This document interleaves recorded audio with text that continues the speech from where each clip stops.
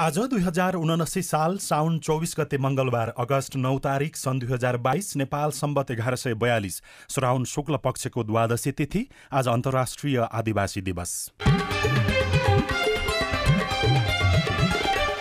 साझा खबरमा प्रमुख खबरका शीर्षकहरू। प्रतिनिधि सभा र प्रदेश सभा निर्वाचनका लागि असोज तेइसमा उम्मेद्वारी दर्ता। सत्ता गठबन्धनमा साठी प्रतिशत सिट पाउनुपर्ने काङ्ग्रेसको दावी। समानुपातिक सहभागितामा महिला सांसदहरू एकजुट। राष्ट्रिय सभाका समितिहरू पुनर्गठन गरिँदै परराष्ट्र मन्त्री खड्का आज चीन जाने तल वृद्धिको निर्णय सरकारले कार्यान्वयन नगर्ने। माटोको उर्वरा शक्ति घट्दा राष्ट्रिय लक्ष्य प्रभावित हुँदै रासायनिक मल ल्याउन सोह्र अर्ब तेइस करोड बजेट माग नागरिकताबाट अपमानजनक शब्द हटाउन गृह मन्त्रालयको परिपत्र। ताइवान लक्षित चीनको अभ्यासप्रति अमेरिका जापान सहितका मुलुकको आपत्ति परमाणु संयन्त्रको विषयमा युक्रेन र रुसबीच तनाव बढ्यो।